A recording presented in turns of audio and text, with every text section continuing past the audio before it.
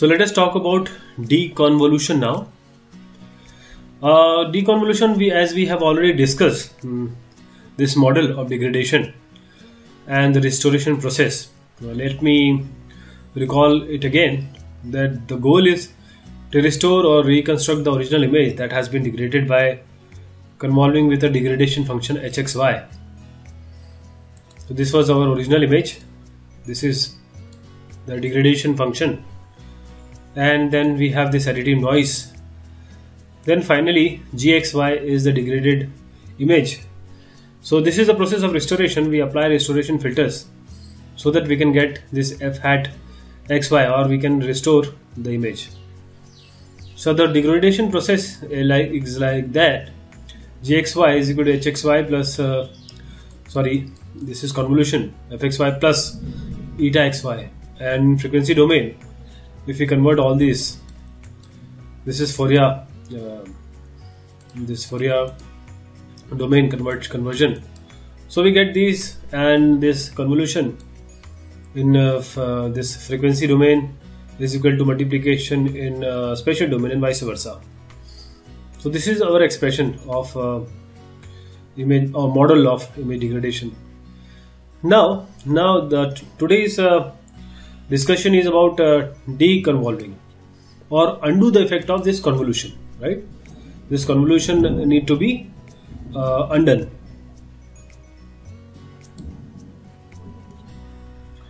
So we introduce this uh, minimum mean uh, square error or Wiener filtering. So what we want we want to find an estimate of the image to minimize the mean squared error between the original image and restored image. So the uh, least this difference is uh, the good our uh, process will be. So this will be the minimum mean square error and this is given by f minus f hat whole square expectation of this. So this is given by 1 by mn sigma uh, the summation of uh, from uh, you know row wise and this row and column wise fxy minus f hat has f hat xy whole square this is the expected value. Now this is the Wiener filter. This f hat uv is given by this h by h mod of h. This h this h star is conjugate of h. This is s eta uv by s f uv and multiplied by g uv now this is uh, given by uh, this h uv square by 1 HV UV and this square plus eta. This is uh, different. This part is different. And this part is different, okay? This is just uh, multiplication of 1 by HV. And this is the expression of our uh, minimum error solution of Wiener filtering. In this, this S eta is nothing but uh, the power spectrum of the noise. And this SF UV is the power spectrum of the undegraded uh, image. So this is the expression finally we are going to see. Now when noise is small compared to the signal, right?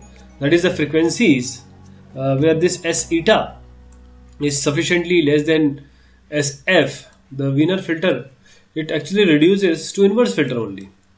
F, F hat UV will uh, just this will be you know cancelled so it will be only this GV, UV by HUV, right? So this uh, becomes uh, inverse filter if uh, S eta is sufficiently less than SF, the power spectrum actually. And uh, at frequencies UV, where noise power is larger with respect to signal power, uh, the inverse case of this, the result actually becomes zero. So F hat UV will be zero. So that's why we have this uh, sketch derivation of Wiener filter so what we want to do, we want to produce an estimate of original signal that minimizes this uh, mean uh, square error. This we introduced already. So this is actually uh, similar to minimizing the error in the frequency domain. Let's take this to the frequency domain. This is uh, Parseval's theorem and this is given by 1 by mn expectation of f minus f at whole square in frequency domain. So what we need, we need to find a filter this WUV that uh, actually minimizes the error so the so that we can apply it on this degraded uh, image uh, we, uh, that is the corrupted signal. And we can get this f hat uv so let us uh, uh, you know just relieve us from this uv and concentrate on this fwg for ease of simplification. So this f hat is given by wg and let us recall that G was nothing but HF plus N as we have already uh, discussed. So this will become like this that this is the reconstructed signal and when we assume this F minus F hat this will nothing but uh, this will be uh, 1 minus WHF if you rearrange it and uh, this will uh, remain as WN so the error between the original and reconstructed. Now E square as we have just seen uh, the mean squared error we try to replace this value here. And we see multiplying out and using the assumption that fn are uncorrelated. Actually, the, mm, the image and the noise, they are actually uncorrelated. That is why we can just uh, use this value and the error is minimized if each term at each UV is minimum. So this is given by uh, del e square means, means taking a partial derivative of this e square with respect to w. And uh, this uh, partial derivative will give us 0 because we assume that this uh, delta del z was of zz conjugate will be 2z conjugate. So what we get is this w star from or w conjugate from this expression is h f square by h square f square plus n square. And uh, this w is given by uh, this h star and h square plus n square by f square. So this is the Wiener filter in the frequency domain, right? So the problem is with Wiener filtering is we may not know this S eta, this is eta, S eta and SF in advance. So how to model it? Usually we assume that the white noise, uh, this S eta is given by this uh, um, particular value which is a constant However, we don't usually know the spectrum of the undegraded image like this. So instead, we can approximate using some k, some constant k, and try different values. So this f hat uv will be given by 1 by hu v hu v square by hu v square plus k. So and this will remain like this. So this k is the average noise to signal ratio. Assume this is a Fourier transform of the original uh, ungraded uh, degraded signal fu. We want to you know reassume it, but uh, this is uh, the Fourier transform of the degraded function hu. Uh, maybe it's, it's, it's looking similar to the Gaussian uh, way, and we degrade the input signal with the noise or add noise. This is our degraded signal, and this is the noise we have added. So what it will become this will be, become something like this. This was our original expression.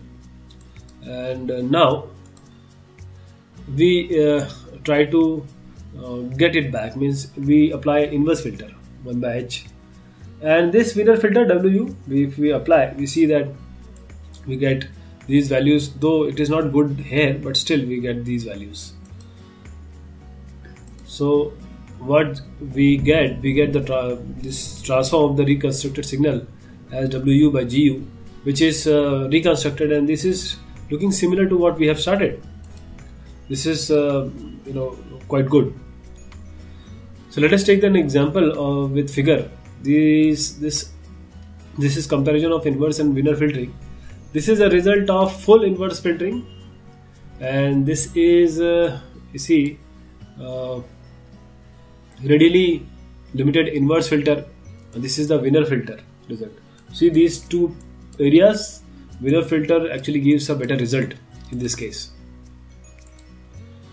And this is again if, uh, we choose k so if uh, this uh, noise is high uh, our reconstruction will, will, be like this.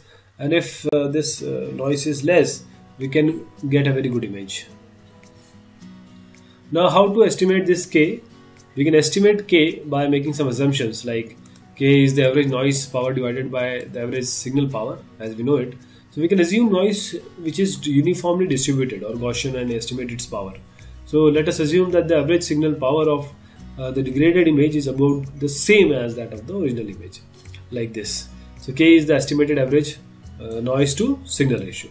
And rough estimate is if noise is uh, of this uh, gray level plus minus 1 and the image is from 0 to 255 then k is roughly 10 to the power minus 4 this is very important. Please understand it.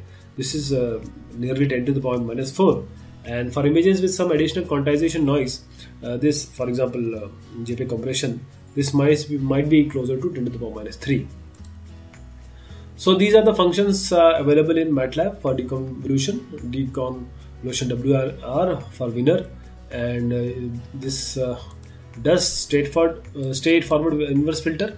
And this assumes degraded function hy sxy is known. While this uh, decon uh, WNR GHK does Wiener inverse filter with constant k noise to signal ratio. And this one GH f FCOR it uses uh, known autocorrelation function for noise and original image FCOR where this uh, NCOR and FCOR is given by Fourier inverse of this these values. So the Wiener filter is a good way to restore images that have been degraded by some uh, known degradation function. And as usual we assume that uh, the degradation process is linear and uh, position invariant followed by additive noise. And the Wiener filter produces a result that has uh, the minimum mean squared error between the restored image and the original image. And motion blur is also an example of uh, this kind of degradation process so thank you so much. Take care of yourself